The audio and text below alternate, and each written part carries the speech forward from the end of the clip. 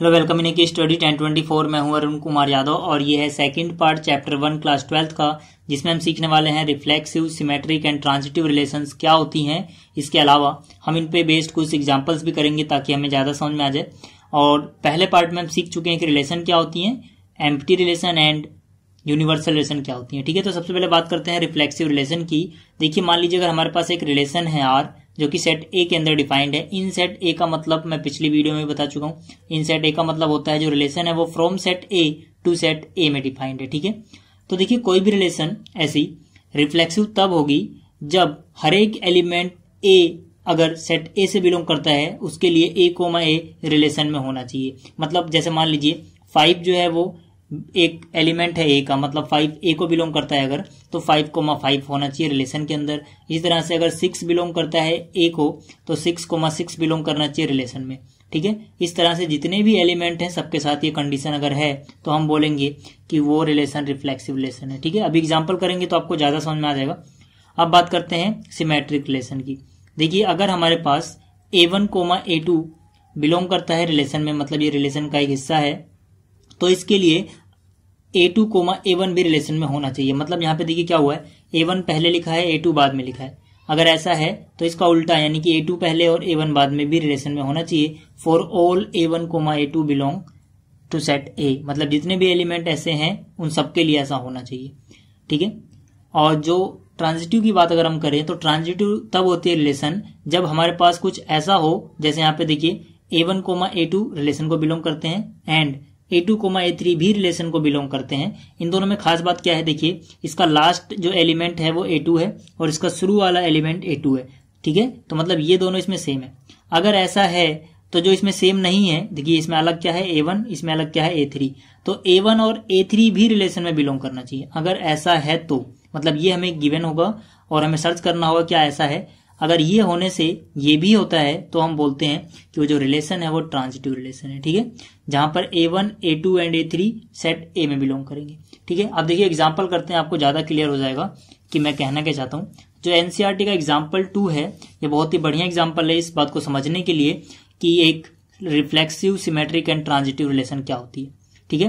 इस क्वेश्चन में हमसे बोला गया है कि जो एक क्वेश्चन है हमारा, इसको इक्विवेलेंस रिलेशन प्रूव करो। इक्विवेलेंस क्या होता है? देखिए, ऐसी रिलेशन जो रिफ्लेक्सिव भी हो सिमेट्रिक भी हो एंड ट्रांजिटिव भी हो, उसको हम बोलते हैं कि वो रिलेशन इक्विवेलेंस रिलेशन है। ठीक है, अब मैं आपको एक क्वेश्चन समझाता हूँ क्या है। इसमें हमसे बोला गया है जो टी है टी एक सेट है ऑल ट्रैंगल्स का इन ए प्लेन ठीक है? With R a relation in T मतलब जो टी है वो सेट है, सारे के सारे ट्रायंगल्स का एक प्लेन में, और आर एक रिलेशन है जो कि सेट टी में डिफाइंड है। इन सेट टी का मतलब आपको समझ में आ गया होगा कि जो रिलेशन है टी सेट टी में ही डिफाइंड है फ्रॉम टी टू टी अब इसके आगे हमसे बोला गया है कि जो रिलेशन की डेफिनेशन हमें बताई गई है, वो ये है कि रिलेशन की डेफिनेशन है T one comma T two इसमें आते हैं। जहाँ पर जो टी वन होगा, वो कॉन्ग्रुएंट होना चाहिए टी टू के। ठीक है? और जैसा कि हमें शो करना है इक्विवेलेंस रिलेशन में मैं आपको बता ही चुका हूँ शुरू में ही। तो इसको हम कैसे करेंगे देखिए, सबसे पहले बात करते हैं रिफ्लेक्सिव है कि नहीं, ठीक है? रिफ्लेक्सिव होने के लिए क्या था? कोई भी एलिमेंट अगर सेट में बिलोंग करता है तो रिलेशन में ए कोमा ए होना चाहिए मतलब वो दो बार। तो यहाँ पर जो सेट है वो हमारा ए था इस डेफिनेशन में, लेकिन यहाँ जो सेट है वो टी है। तो अगर हम मान लीजिए कोई भी ट्रैंगल ले लें टी एन ठीक है? मान लेते हैं कोई भी ट्रैंगल टी एन जो है, वो बिलोंग करता है सेट टी से। ठीक है? तो ज़ाहिर सी बात है, हर एक ट्रायंगल खुद के कॉन्ग्रुएंट तो होगा ही ठीक है? जो भी है टी एन एन का मतलब कुछ भी रख सकते हो आप एन की जगह वन रख लो तो टी वन की बात कर रहे हैं एन की जगह टू रख लो तो टी टू की बात कर रहे हैं तो टी एन मतलब कुछ भी हो सकता है एन की वैल्यू बदलते रहो तो। तो हर ट्रायंगल अपने कॉन्ग्रुएंट तो होगा ही जैसे ही ट्रायंगल अपने कॉन्ग्रुएंट हुआ तो रिलेशन की डेफिनेशन ही यही है कि जो टी वन है, वो टी टू के कॉन्ग्रुएंट होना चाहिए था। तो हम कह सकते हैं कि जो T N common T N होगा ठीक है? वो बिलोंग करेगा रिलेशन के, ठीक है? क्योंकि ये दोनों आपस में कॉन्ग्रुएंट हैं तो इस रिलेशन में आएँगे। तो हर ट्रायंगल अपने ही कॉन्ग्रुएंट होता है तो यानी ये रिलेशन में आएगा। तो हम कह सकते हैं कि यहाँ पर T N comma T N belong करता है रिलेशन में for all T N belongs to set T ठीक है? तो इसका मतलब क्या हुआ? इसका मतलब ये हो गया कि जो रिलेशन है हमारी ये रिलेशन जो है वो क्या है? वो रिफ्लेक्सिव है। ठीक है? अब बात करते हैं जो सेकंड था हमारा सिमेट्रिक रिलेशन ठीक है? अब इसमें मैंने क्या कहा था कि ये अगर है तो हम इसके बारे में सोचेंगे। तो मतलब यहाँ पर हम मान लेंगे कि अगर मान लीजिए कोई भी दो ट्रायंगल ठीक है? मान लीजिए T one comma T two है, ठीक है? इफ़ करके लिखेंगे मुझे अगर। अगर T one comma T two है जो कि रिलेशन में बिलोंग करते हैं तो ज़ाहिर सी बात है इसका मतलब क्या हुआ? इसका मतलब है कि जो टी वन है, वो कॉन्ग्रुएंट रहा होगा टी टू के, तभी तो रिलेशन में बिलोंग करेगा। क्योंकि रिलेशन की डेफिनेशन यही है। तो अगर टी वन टी टू के कॉन्ग्रुएंट है तो इसका मतलब ये भी तो होगा कि जो टी टू होगा, वो कॉन्ग्रुएंट होगा टी वन के, ठीक है? और जैसे ही ये हो गया तो इसका मतलब हमें मिल जाएगा, ये इंप्लाई करेगा कि जो टी टू होगा टी वन होगा, वो भी बिलोंग करेगा रिलेशन में। For all T one comma T two belongs to set T ठीक है? यानी जो ट्रायंगल का सेट है, उसी के अंदर से हमने ये लिए थे। मैं एक बार और बता देता हूँ कि अगर हमें ये गिवन है कि T one T two relation में है तो इसका मतलब है तभी रिलेशन में होंगे जब टी वन टी टू के कॉन्ग्रुएंट होगा। और अगर ये कॉन्ग्रुएंट है, ठीक है तो हम कह सकते हैं कि अगर टी वन टी टू के कॉन्ग्रुएंट है तो टी टू भी टी वन के कॉन्ग्रुएंट होगा ऑर्डर का कोई फ़र्क नहीं पड़ता, ठीक है? तो अगर ऐसा है तो ये भी रिलेशन में बिलोंग करेगा। तो यहाँ पर हो गया, ठीक है, कि T one T two relation में बिलोंग करता है तो टी टू टी वन भी रिलेशन में बिलोंग करता है। तो इससे हमें क्या पता लगा? इससे हमें पता लगा कि जो रिलेशन है रिलेशन इज़ सिमेट्रिक ठीक है? अब बात करते हैं जरा ट्रांजिटिविटी की, ठीक है?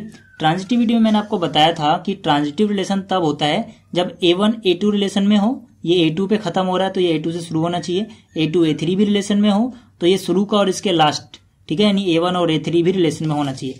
तो देखिए, अगर मान लीजिए हमारे पास टी वन और टी टू रिलेशन में बिलोंग करते हैं, ठीक है? एंड टी टू ये टू से खत्म हुआ है टी टू से चालू होगा। T two and T three भी रिलेशन में बिलोंग करते हैं। तो पक्की बात है कि जो टी वन होगा, ठीक है, और जो टी थ्री होगा, वो भी रिलेशन में बिलोंग करेंगे ही करेंगे। क्यों करेंगे? देखिए, अगर ये रिलेशन में बिलोंग करते हैं तो इसका मतलब है टी वन कॉन्ग्रुएंट है टी टू के। और अगर ये रिलेशन में बिलोंग करते हैं तो इसका मतलब है कि जो टी टू है, वो टी थ्री के कॉन्ग्रुएंट है। तो ज़ाहिर सी बात है कि अगर ये इसके कॉन्ग्रुएंट है और ये इसके कॉन्ग्रुएंट है तो ये भी आपस में कॉन्ग्रुएंट होंगे ही। ठीक है?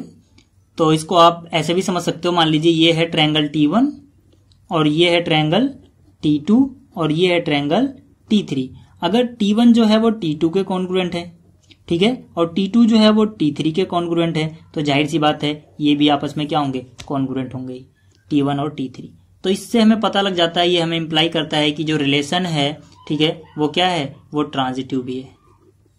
और मैंने भी आपको बताया था कि एक ऐसी रिलेशन जो रिफ्लेक्सिव भी हो सिमेट्रिक भी हो और ट्रांजिटिव भी हो, वो क्या हो जाती है? वो हो जाती है इक्विवेलेंस रिलेशन तो हम कह सकते हैं कि जो रिलेशन है इक्विवेलेंस रिलेशन है। तो आप यहाँ पे लिख लेना the relation is equivalence relation तो अब एक और एग्ज़ाम्पल लेते हैं जो हमें समझने में मदद करेगा कि रिफ्लेक्सिव सिमेट्रिक एंड ट्रांजिटिव क्या होता है, ठीक है? एक और एग्ज़ाम्पल लेते हैं। अब देखिए ये एग्ज़ाम्पल नंबर थ्री एनसीआरटी का, ठीक है, इसमें क्या है? इसमें जो एल है, वो सेट है of all lines in a plane ठीक है? और जो हमारे रिलेशन है, वो सेट एल में ही डिफाइंड है।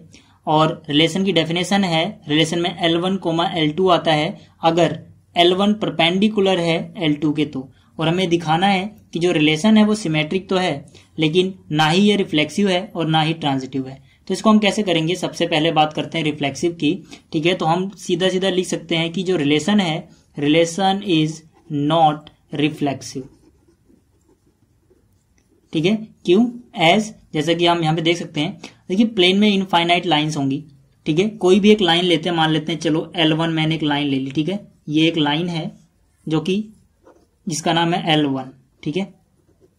तो एल वन जो है, ये एल वन के ही परपेंडिकुलर तो नहीं हो सकती, कोई भी लाइन खुद के परपेंडिकुलर नहीं हो सकती, ठीक है? तो अगर यहाँ पर एल वन एल वन के परपेंडिकुलर नहीं है तो मतलब L one comma L one जो होगा, वो बिलोंग भी नहीं करेगा रिलेशन में। और अगर ये बिलोंग नहीं करता है तो हम कह सकते हैं कि जो रिलेशन है, वो रिफ्लेक्सिव नहीं होगी। क्योंकि रिलेशन को रिफ्लेक्सिव होने के लिए अगर कोई भी एलिमेंट एल वन जो था, वो सेट एल से बिलोंग करता है, ठीक है तो ये होना चाहिए था, जबकि ये ऐसा नहीं है। तो हम कह सकते हैं कि रिफ्लेक्सिव नहीं है। दूसरी बात करते हैं सिमेट्रिक होने की, ठीक है? देखिए सिमेट्रिक में क्या था फिर से? ए वन ए टू अगर है तो ए टू ए वन होना चाहिए। मतलब ये है, तब हम ये प्रूव करेंगे। तो हम ये एज्यूम करेंगे कि ये है, और फिर दिखाएँगे कि ऐसा होगा या नहीं होगा, ठीक है? तो देख लिया यहाँ पे। If L one comma L two belong करता है रिलेशन में, ठीक है? For all L one comma L two belong to set L ठीक है? तो अगर ये ऐसा है तो इसका मतलब क्या होगा? कि L1 जो है वो L2 के परपेंडिकुलर रहा होगा, ठीक है? तभी तो ये बिलोंग करता है रिलेशन में। तो इसका मतलब सिंपल सा हो गया कि L1 जो है, वो परपेंडिकुलर है L2 के। तो अगर L1 L2 के परपेंडिकुलर है तो ये इंप्लाई करता है कि जो L2 होगा, वो परपेंडिकुलर होगा L1 के। ठीक है? जैसे यहाँ पे लाइन L1 है। और यहाँ मैं एक और लाइन खींच देता हूँ L2 और इनके बीच का एंगल है 90 डिग्री मतलब जो L1 है, वो L2 के परपेंडिकुलर है, ये कैपिटल L है। ठीक है? जो L1 है, वो L2 के परपेंडिकुलर तो ज़ाहिर सी बात है, जो L2 होगा, वो L1 के भी परपेंडिकुलर होगा। तो अगर ये हुआ तो इसका मतलब है कि जो L2 है कोमा जो L1 है, वो रिलेशन में बिलोंग करते हैं। ठीक है? तो यहाँ पर देखिए L1 कोमा L2 रिलेशन में था, ये इंप्लाई करता है कि L2 और L1 भी रिलेशन में है। इसका मतलब है कि जो रिलेशन है रिलेशन इज़ सिमेट्रिक ठीक है? तो ये हो गया रिलेशन सिमेट्रिक है। तीसरी चीज़ हमें प्रूव करनी थी कि ये रिफ्लेक्सिव भी सॉरी ट्रांजिटिव भी नहीं है, ठीक है? तो ट्रांजिटिव नहीं है हम कैसे प्रूव करेंगे? देखिए ट्रांजिटिव के लिए फिर से A one A two relation में होने चाहिए ए टू ए थ्री भी रिलेशन में होना चाहिए। तो हम दिखाएँगे कि ए वन और ए थ्री रिलेशन में नहीं है। अगर ये नहीं होंगे, तभी हम प्रूव कर पाएँगे कि वो ट्रांजिटिव नहीं है। तो यहाँ पर देखिए if line one comma line two belongs to relation तो इसका मतलब सिंपल सा क्या हो गया कि जो L1 है वो परपेंडिकुलर रहा होगा L2 के। एंड दूसरी कंडीशन ये L2 पे खत्म हो रहा है तो L2 से शुरू होगा। L2 coma L3 belongs to relation तो इसका मतलब है कि जो L2 है वो परपेंडिकुलर है L3 के। ठीक है? अगर ये है तो इसका मतलब क्या है? मैं आपको डायग्राम से समझाता हूँ। ये हमारी लाइन वन ठीक है? ये परपेंडिकुलर है लाइन टू के। यहाँ पे खींच देते हैं लाइन टू और L1 L2 के परपेंडिकुलर है और L2 जो है वो L3 के परपेंडिकुलर है, ठीक है? जो L2 है, मान लेते हैं एक तीसरी लाइन जो L3 के परपेंडिकुलर है तो L3 कुछ ऐसा आएगा। तभी तो इनके बीच का एंगल 90 होगा, ठीक है? L3 तो यहाँ से आप देख सकते हैं कि L1 L2 के परपेंडिकुलर है L2 L3 के परपेंडिकुलर है, लेकिन L3 और L1 तो आपस में परपेंडिकुलर नहीं है, बल्कि पैरेलल है, ठीक है? तो हम कह सकते हैं अगर ऐसी कंडीशन है तो ये इंप्लाई करती है कि जो L1 होगा वो पैरेलल हो जाएगा एल थ्री के, ना कि परपेंडिकुलर ठीक है? तो हम लिख देंगे कि एल वन और एल थ्री जो है, वो रिलेशन में बिलोंग नहीं करते हैं, क्योंकि परपेंडिकुलर होने चाहिए थे, लेकिन वो पैरेलल हो गए ठीक है? तो जो रिलेशन है, वो क्या है? वो नॉट ट्रांजिटिव है, ठीक है? तो ये दो एग्ज़ाम्पल काफ़ी आपको समझने के लिए, बाकी हम जब एक्सरसाइज करेंगे तो आपको और अच्छे समझ में आ जाएगा। तो इस वीडियो में इतना ही। अगर आपको ये वीडियो अच्छी लगी है, आपको ये कॉन्सेप्ट समझ में आया है तो प्लीज़ इसको लाइक करें शेयर करें एंड इस चैनल को सब्सक्राइब करें। मिलते हैं फिर अगली वीडियो में। तब तक के लिए गुड बाय